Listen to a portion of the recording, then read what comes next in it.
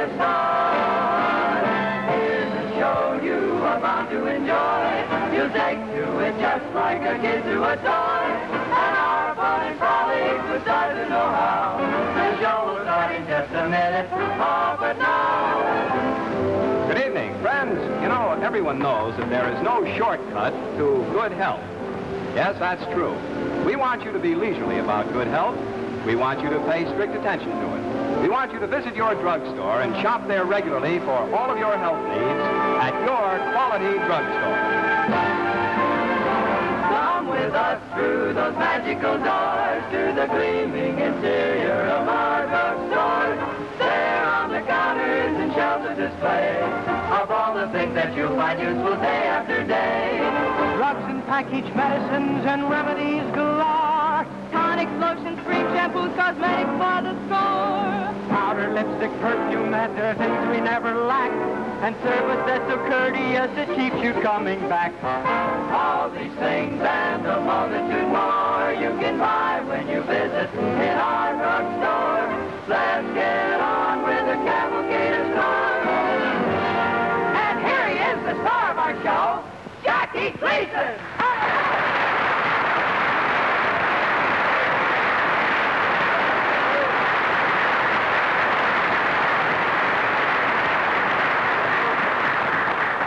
Thank you, ladies and gentlemen, and welcome once again. I'm very happy that you allow me into your living rooms once more.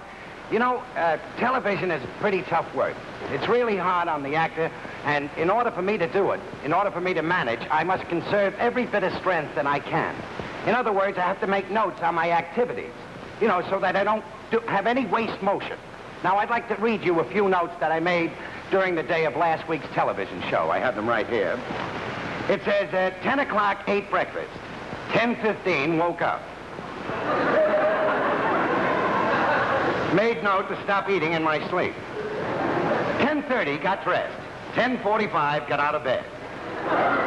11.20, started reading fan mail. 11.21, finished reading fan mail.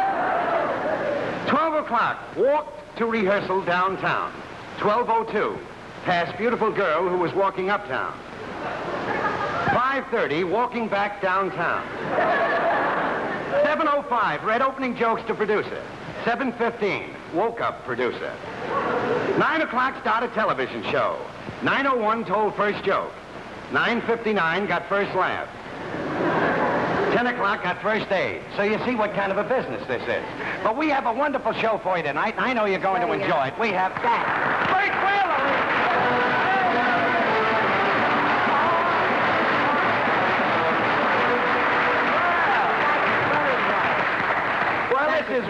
Kick, Bert, to have you back again. You were so good the last time. Look, you were only here a month ago. How is it you're back in town? Well, Jack, I'm back in town. I'm celebrating my 31st wedding anniversary. Now, wait a minute. You were only here a month ago, and you told me you were celebrating your 30th anniversary. We live a fast life, my wife. Oh, I. See what you mean. Jack, I'm so happy to be back on this show. You know, the last time I was on the show, you did everything to make me a big Oh, you were a smash hit. Every You time that I told a joke, the audience would scream. Yeah. Then you tell one and they'd calm right down again. Do you remember? Look, you're not starting in, are you, pal? What kind of a show have you got tonight? Oh, we have a wonderful show. We started off by having the June Taylor dancers do a real wiggly rumba number. No kidding. Yeah, do you like the rumba? well, let's face it, Jack. I'm getting a little old for the rumba. Oh, let's face it, Bert, you're a little too old for the minuet. But uh, do you know how to do the rumba? What'd you say? I say, do you know how to do the rumba? The rumba is the last thing on my mind. Well, I happen to have an instructor backstage. I'd like to bring her out and have her show you a few steps. I'd like to see that. All right, Miss Poon.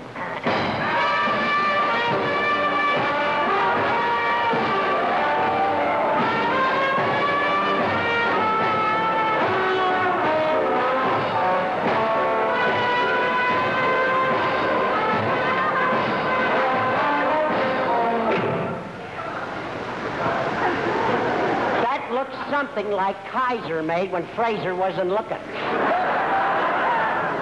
Well, Bert? Uh, you want this is my partner? Yes, this is the guy. Just a moment now, just a moment. The only practical way to learn how to do the rumba is to dance with a partner. Well, that's what I thought. Now, I'll show you what I mean. Are you ready, dear?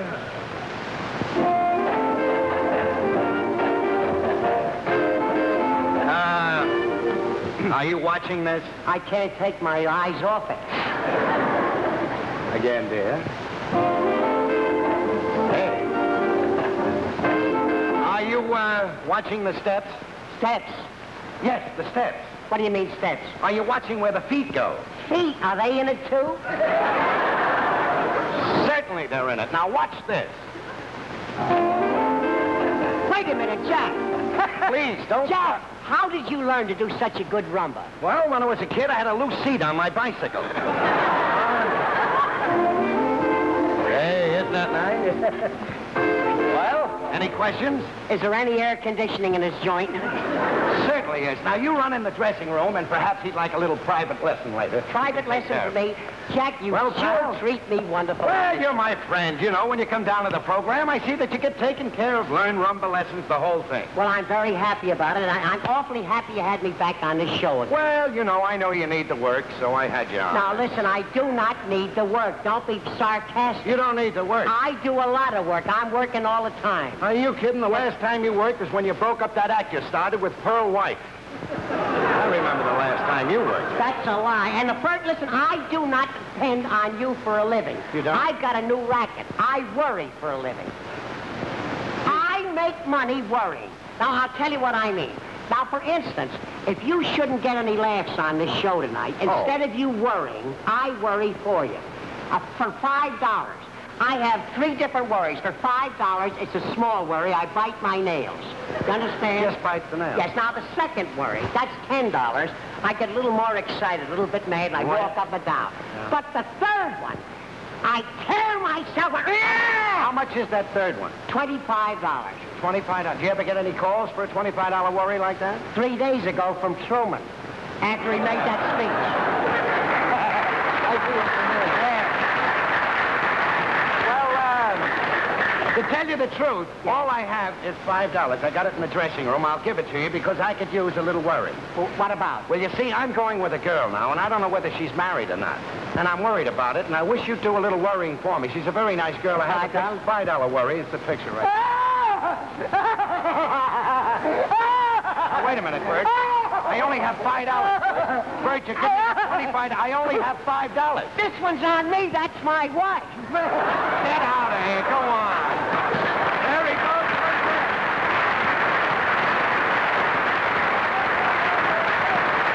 And now, ladies and gentlemen, presenting the June Taylor Dances and featuring Miss Shirley Dance.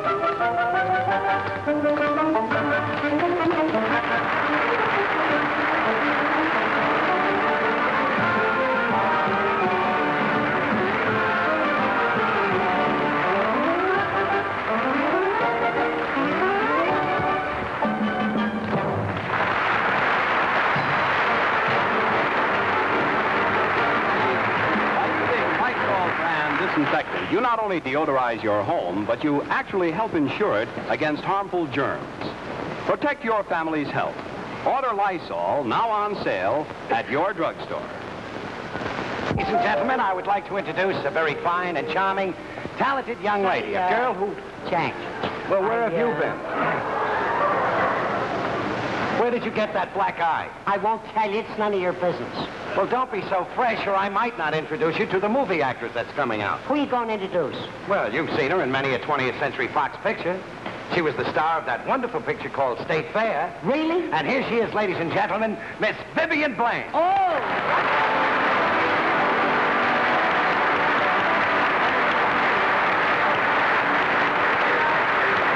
Oh, thank you, thank you. Thank you so very much, Jackie, for those Well. wonderful words of introduction. Oh, that's perfectly all right. Vivian, I'd like you to meet a friend of mine, Mr. Bert Wheeler. Bert, I want you to meet Vivian. Hello, Bert. Sweetheart, believe me when I tell you that you certainly are... Oh. Bert, when I introduce you to someone, take a bow.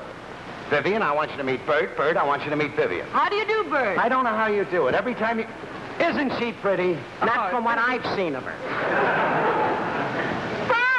Bert, where did you get the black eye? Oh, honey, I will tell you, but I wouldn't tell him. All right. He just introduced me to a rumba teacher. She had me in the dressing room giving me a rumba lesson. Now, don't tell me The she gave... Victrola, the music was good and loud, yes. And her father walked in and smacked me right in the eye. Well, what did you do? I didn't do nothing. Now, don't stand there and tell me you just punched in the eye for doing nothing. I didn't do nothing. Well, why did he punch you in the eye? He was deaf and he couldn't hear the music. Are you gonna get out of here?